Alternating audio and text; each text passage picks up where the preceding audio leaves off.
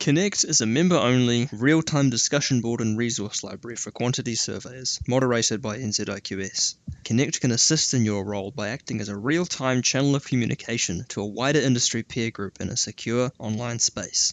It's available 24-7 if you'd like to take part in live discussion, or you can receive a daily digest of discussion content if you'd rather not.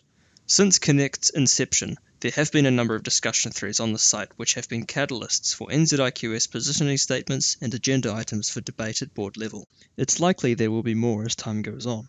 As such, it's important you're familiar with the platform so you have the opportunity to comment as these discussions occur.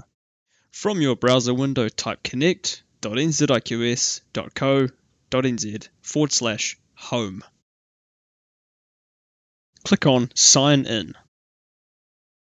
From here, log in using the same username and password that you use on the NZIQS website. If you don't have a username and password, click the register button and enter your information where prompted. If you're still experiencing login issues, contact us for assistance.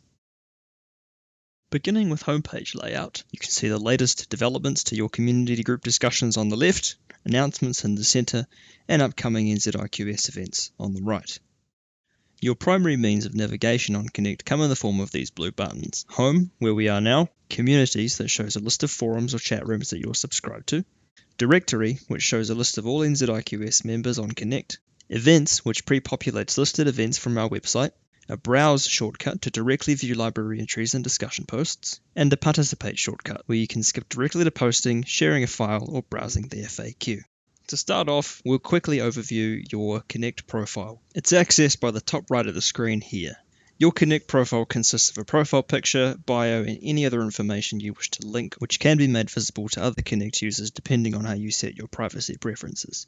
From here, you can manage your contacts and networks. Think of this as a list of people you've talked to in discussions who you'd like to keep in touch with. As I'll show you later, you can request contact with other Connect users through the Discussions view.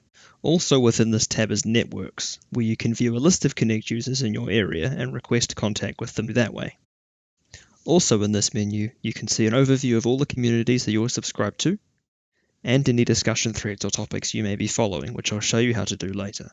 From the My Contributions tab, you can view a summary of your activity on Connect to date, with a breakdown of how you've been interacting. You can also view achievements. These are digital badges given to users in recognition of engagement or reaching various milestones.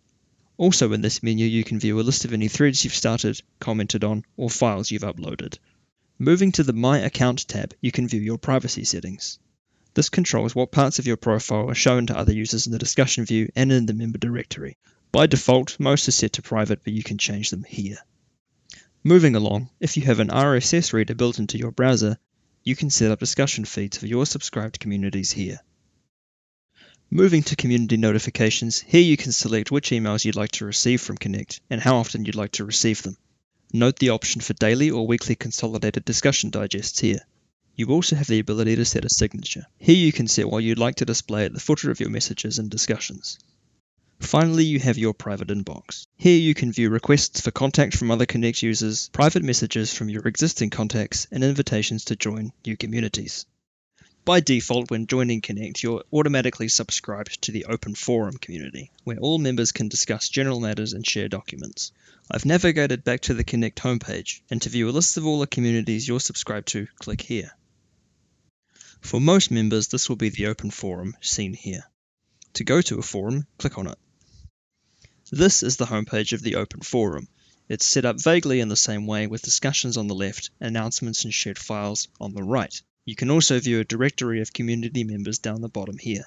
Within each community there is also a library. A community library is a list of user uploaded documents, and it also lists documents uploaded as attachments within discussion threads. I'll talk more about this later. To navigate to a community's discussion, click here. Here you can see all the community discussion listed from the top down in chronological order. You can view the discussion title, the member who started the discussion thread, and the number of replies on each row.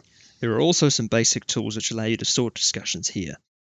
To view a discussion thread, click on it. This takes you to the thread view where you can view the original post followed by all the replies displayed below it. And you can create replies of your own by clicking here. By default, replies are visible to other users in a thread. However, you can also reply directly to a user's private inbox. In addition to replying, you can also rate interesting and insightful comments by recommending them here. Comment recommendations are visible to others in the thread, and they're a great way of passively indicating your agreement or endorsement of an opinion without having to write a comment reply. You can flag rude or inappropriate comments by clicking here. Clicking this temporarily removes the content from the thread and alerts NZIQS staff to review it.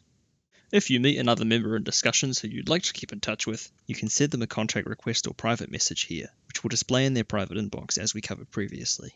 The last feature to cover is libraries. At the time of producing this video, the library section of the site is due to be overhauled with new features and a brand new look. I'll be demonstrating with the updated preview today, although the old version works much the same way. Starting at the first row underneath the library button, we can see a carousel of recent uploads showing the total views and downloads for each file. Scrolling down we can see the full list, tools available for sorting by creation date, most viewed, and so on. View entry page allows you to see the contextual discussion in which this document was originally attached. Following will add that document and any further contextual discussion to your list of followed articles in your profile. Mark as inappropriate, which we've already covered, and the other options you won't be able to see as they only display to me as an administrator.